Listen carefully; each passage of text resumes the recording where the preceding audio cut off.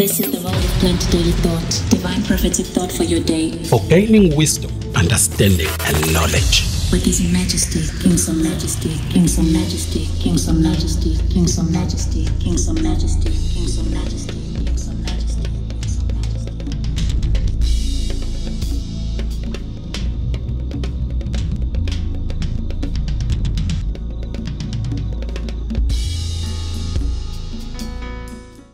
indaba ye-christianity ngizoyikhuluma la kinina.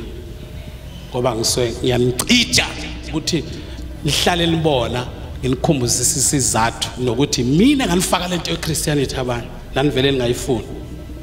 Kodwa sekufika isikhathi la khona engeke ngivume ukuyodebata nomkristu ngoba ngiyazehlisa. Umuntu omkristu kumina umuntu okholwa into angayazi. Okholwe ngamanga olutheke ngale ndlela yokuthi wazi ukuthi mina usathane. Akazi nokuthi akukho sathane. Usathane ile nto ayibiza ngokuthi unkulunkulu. Angithi usathane umbulali bafowethu? Unkulunkulu encwadini ka-exodus ungunkulunkulu obulalayo. Ngamanye amazwi ngumbulali kusho unkulunkulu. Unkulunkulu ku-exodus wasebhayibhelini. Fanele ngucacise lokho ngoba ngizoze ucabanga ukuthi unkulunkulu wami unjalo.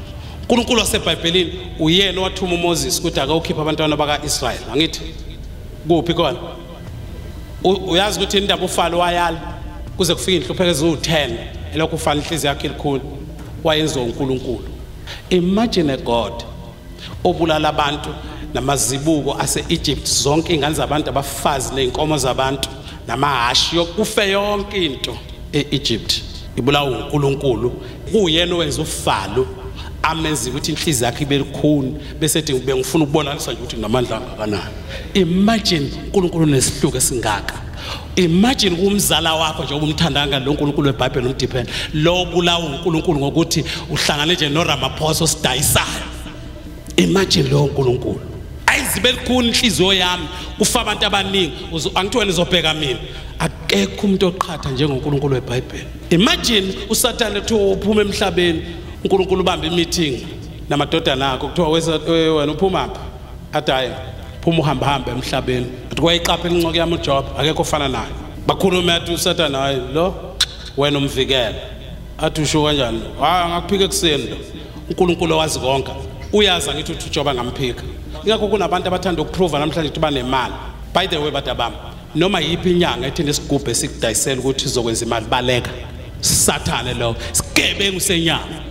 Akekho umuntu onemali oyishuthayo nokukhombisayo ukuthi uyilande kanjani. Angakufundisa indlela kodwa akekho umuntu ongavela angena emanzini nje ayothola imali emanzini. Utshala umqondo ongasile ubuvila kubantu bakithi.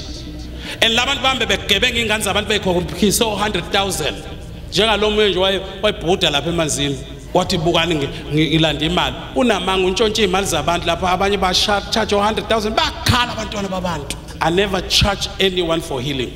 I will never do that. I charge you. Ngokuza kimi. Ngesikhathi sami. Thank you for watching or listening. The World of Plenty Daily Thought, divine prophetic thought for your day. for gaining wisdom understanding and knowledge. With His Majesty, Kings of Majesty. For more information, you can send us an email on info at nalamonday.com or call us on 079 1755 628. Don't forget to subscribe to our channel on YouTube at Kingsomnala Nalamandate. You can like our page on Facebook at Kingsomnala Nalamandate. Follow us on TikTok at Kingsomnala the Plentorist.